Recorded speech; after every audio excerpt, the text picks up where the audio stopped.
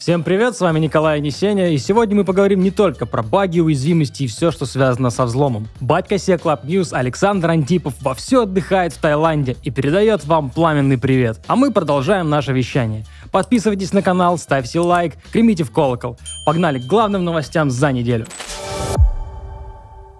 Одна из самых громких новостей ушедшей недели касается Mango Markets. MM — это децентрализованная биржа, основанная на блокчейне Solana. Бабки в этом деле фигурируют огромные, и развитие событий более чем любопытное. Начнем с первого. Неизвестный украл более 110 миллионов долларов у DeFi платформы Mango Markets. Как он это сделал? Использовав депозит на сумму 10 миллионов баксов, он сманипулировал ценой нативного токена MNGO. В результате цена актива кратковременно подскочила на 2295%. Увеличение стоимости позволило хакеру вывести более 110 миллионов долларов. Взлом стал шестым по величине эксплойтом DeFi в истории, уступив взлому Cream Finance на 130 миллионов баксов. А еще это привело к тому, что цена нативного токена MNGO упала на 52%. Но на этом история не заканчивается. Манга от таких убытков, понятное дело, в и решила вернуть себе хоть какие-то деньги. Манго Маркет заплатит хакеру 47 миллионов долларов и откажется от уголовного преследования. Сообщество DeFi проголосовало за сделку со злоумышленником. Хакер вернет 69 миллионов долларов и оставит себе оставшиеся 47 миллионов. И что самое главное, уговор включает обязательства, делающие невозможным уголовное преследование. Вот такая сделка, друзья. Пишите, что думаете по этому поводу в комментариях. А мы идем дальше.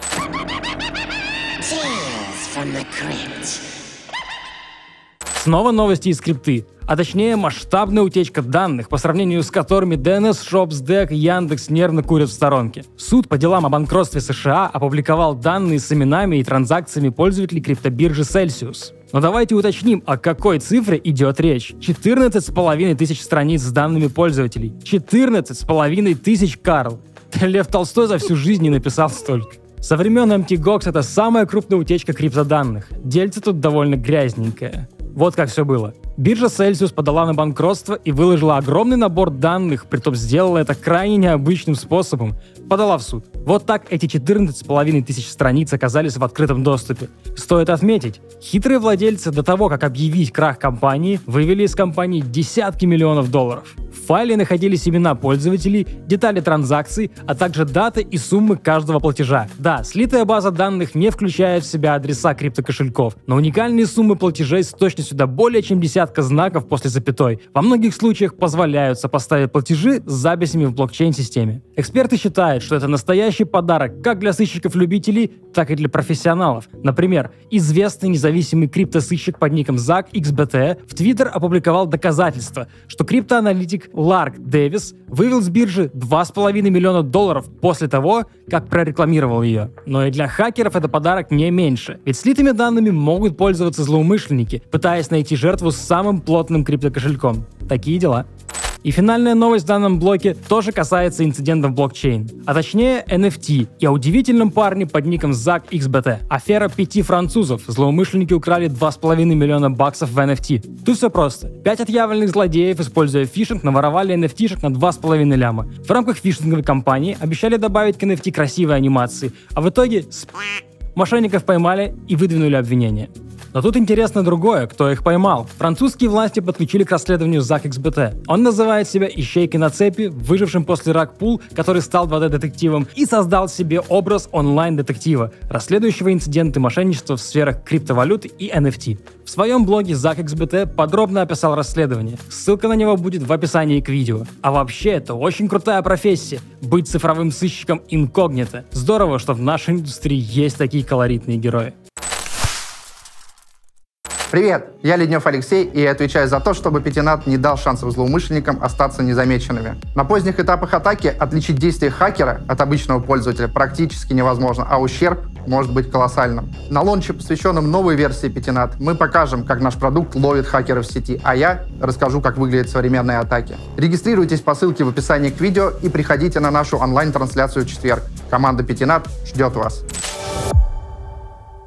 В прошлом выпуске мы говорили о санкциях США на Китай и уже можем рассказать о первых последствиях случившегося. Американские санкции парализовали полупроводниковую отрасль Китая. Заявление, что данные меры вернут Китай в каменный век, оказались неголословными. Недавно Белый дом выпустил указ, который запрещает использовать чипы, произведенные вне страны. Ограничение касается не только компаний из США, но и любых других, использующих американские технологии. Запрет Байдена, по сути, заставил американских специалистов, работающих на производстве чипов в Китае, выбирать между увольнением и потерей гражданства. В результате американские руководители и инженеры, работающие в Китае на производстве полупроводников, массово подали в отставку, парализовав целую отрасль. Сообщается, что пострадать могут все зависимые от микроэлектроники сферы, от смартфонов и беспилотных автомобилей до военной и космической промышленности. США нанесли сильнейший удар по всей китайской технологической отрасли. IT-инфраструктура индийской энергетической компании Tata Power подверглась кибератаке. Компания публично призналась, что подверглась кибератаке,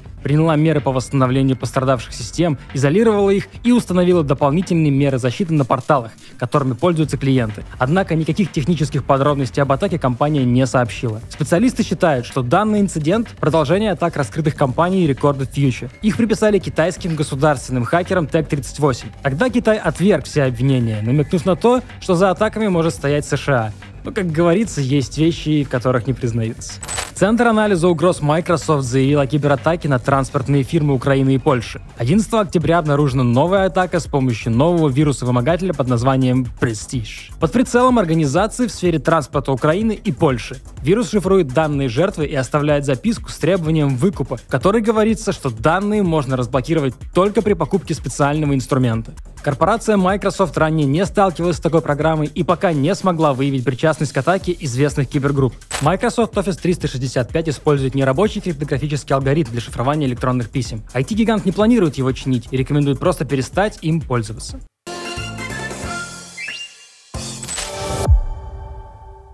DDoS и пиратство. Так мы назвали наш следующий блок новостей. Начнем с очень громкой по своему масштабу новости. Ботнет Мирай провел крупнейшую DDoS-атаку на сервер Minecraft. Исследователь Амер Йоахимик охарактеризовал эту атаку как мгновенную атаку, состоящую из UDP и TCP синфлуда. Одному господу и Амеру известно, что это значит.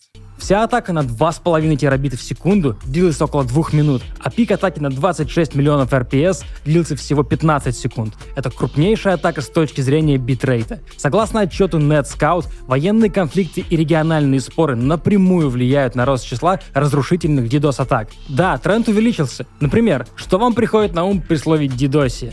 Если вам кажется, что это новое государство, которое для всех дедушек с появлением внука организовал Александр Антипов, то вы ошибаетесь. Это хакерский краудсорс. Проект Дидосия платит всем желающим за участие в DDoS-атаках. Проект запущен в Telegram русскоязычной группировкой NoName 057 в скобках 16. На данный момент там 13 тысяч участников. Для комрадов хакеры сделали страницу с инструкцией на GitHub с призывом мы набираем экспериментальную группу помощников для участия в наших DDoS-атаках. Ждем всех единомышленников, готовых нам помочь.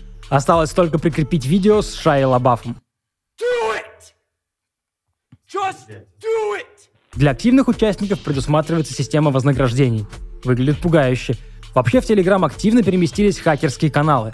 Об этом команда Positive Technologies недавно выпустила отдельную аналитическую статью, ознакомиться с которой вы можете по ссылке в описании. А теперь одеваем повязки на глаз и идем на абордаж. Пиратство. Вы готовы, дети? К чему приведет увеличение пиратства в России? На фоне приостановки кинопроката зарубежных фильмов и работы стриминговых платформ в России все больше растет интерес к нелегальному контенту. С февраля количество запросов на скачивание пиратских приложений выросло на 400%. К возможности размещения пиратских приложений в официальных российских магазинах эксперты относятся скептически, но не исключают ее. А вот у Госдумы на этот счет свое мнение. В Госдуме хотят создать ведомство для торговли пиратским контентом. Структура поможет бороться с дискриминацией, которой россияне подвергаются из-за введенных Западом санкций. Так считает депутат Госдумы Артем Кирьянов, который и выступил с соответствующей инициативой. ТАСС цитирует Кирьянова. «Мы не должны бояться брать на себя ответственность за то, что мы действительно этот контент так или иначе будем иметь у себя. Ведомство будет собирать необходимый контент без каких-либо выплат и почтения к авторским правам недружественных Российской Федерации стран. Затем контент станет доступен на платной основе пользователям. В сложившихся условиях это решение может быть оптимальным. Не забывайте поделиться своим мнением в комментариях, друзья. Что думаете, депутат Кирьянов дело говорит? Есть такое милое животное капибара – Печально, но милых зверьков использовали для нового названия Трояна. Троян Капибара и схема ТОТ – новые друзья телефонных фишеров. Если вы пользуетесь онлайн-банкингом и живете в Италии, то вы целевая аудитория новой фишинговой компании. Обрабатывать вас будут техникой под названием Toad. Это продвинутая техника социальной инженерии. Злоумышленник звонит жертве после того, как соберет о ней всю необходимую информацию. После подлец представляется работником спецслужбы и подкидывает вам капивару – троян для смартфонов, направленный на осуществление оверлей-атак. Оверлей-атаки, кстати, это когда одно приложение рисует поверх других. Пользуясь случаем, наш креативщик Ян передает привет Игорю Климову, огромному фанату этих милых пушистиков. Следующая новость – это подвиг на грани фола. Полиция обвела операторов Deadbolt вокруг пальца и выманила у них 155 ключей дешифрования. Полиция Нидерландов выманила у хакеров из Deadbolt ключи для расшифрования данных, заплатив злоумышленникам. Но когда те передали ключи, полицейские отозвали транзакцию. Опасные игры. 155 ключей спасли, а хакеров разозлили. Операторы Deadbolt уже поменяли принцип и требуют двойное подтверждение, прежде чем жертва получит ключ расшифрования.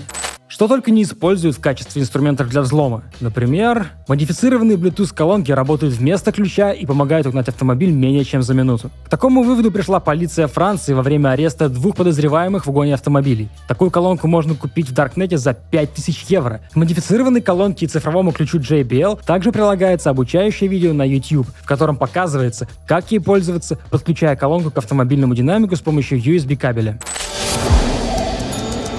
Всем привет, меня зовут Ян, с вами рубрика Демка. О новостях, достойных основного эфира, но которым не нашлось в них места на повестке «Мобильные войны», Илон Маск и загробная жизнь. После агонии Павла Дурова, который обвинил WhatsApp во всех грехах, связанных с безопасностью, я ждал продолжения бифа от Цукерберга. Но, видимо, Марку неинтересно мериться мессенджерами с Павлом.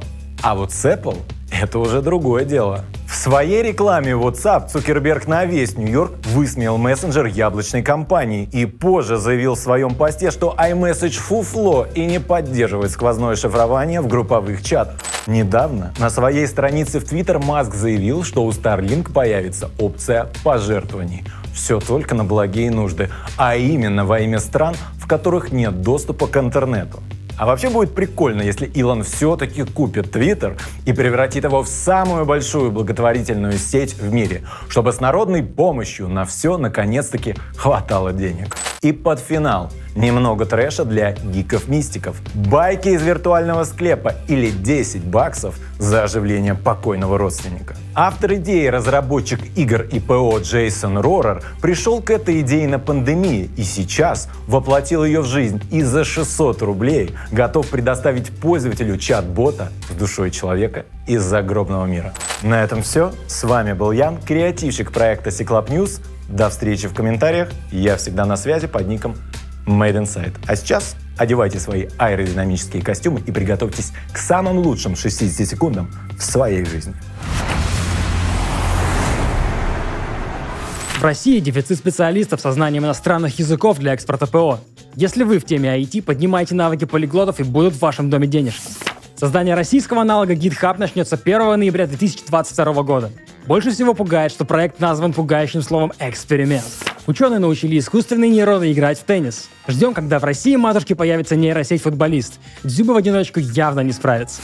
Студента посадили в тюрьму за взлом электронной почты Snapchat аккаунтов однокурсниц. Ему грозит 13 месяцев тюрьмы. От грязных рук преступника пострадали более 100 студенток. В команде Seclab News со своей рубрикой должен присоединиться Алексей Лукацкий. Так сообщает сотрудник пиар-отдела Positive Technologies Юлия Трубицына. Пишите в комментариях ваше название рубрики и вектор создания контента. Скрытные кибердрузья Оушена атакуют онлайн-казино в Юго-Восточной Азии. Преступники воруют данные посетителей. Больше всего обидно за тех, кто сначала проигрывал все деньги, а потом стал жертвой взлома. Непруха сотого левела. Кембриджские исследователи считают, что ПО для найма с ИИ алгоритмами автоматизированная лженаука. А по-моему, они просто боятся, что больше не получат работу, если их будет нанимать вредная ИИшечка. Самое время подвести итоги конкурса по улучшению канала и отдать Flipper Zero в надежные руки немного с Байтем Вилсаком, и он все-таки снимался. Поздравляю, Cyber S! Приз ваш! Спасибо вам за ваше участие в канале. Также хочется сказать спасибо всем зрителям, кто принял участие в вопросе. Мы спим с вашими пожеланиями по улучшению канала, и надеюсь, многие из них уже заметны. Итак, один Flipper Zero мы разыграли, но у нас есть еще один. И так как это тамагочи для хакеров, а я хакер, я придумал для вас конкурс по соответствующей тематике. Ставьте хэштег флиппер и пишите в комментариях, как вы развиваете свои хакерские навыки. И автор лучшего лайфхака получит второй флиппер Zero. Хочу вам заанонсить, что в честь выхода 11 версии продукта PT Network Attack Discovery выйдет спецвыпуск с Денисом Батранковым, посвященный сетевому трафику. Не пропустите. А на этом все. С вами был Николай Анисеня, Хакерское солнце информационной безопасности. Читайте наши новости, смотрите наши видео. Скоро увидимся. Я просто снова плюнул и что-то сбился. Биржа Цельсиус подала банкротство. Я и да, на 60 секунд. В Госдуме хотят создать свое... В Госдуме хотят создать... ве- В Госдуме хотят... Сложно с Госдумой работать, я согласен. То есть меня Антипов подставил с очками и сказал, вот, Ян, возьми, они будут классные. Они, по-моему, не классные, в общем. А, давай сразу только это делать не будешь, а сохранишь две па. На все, наконец-таки, хватило денег. Хо-хо! И подвел... Я шучу, ладно. И- Хе-хей!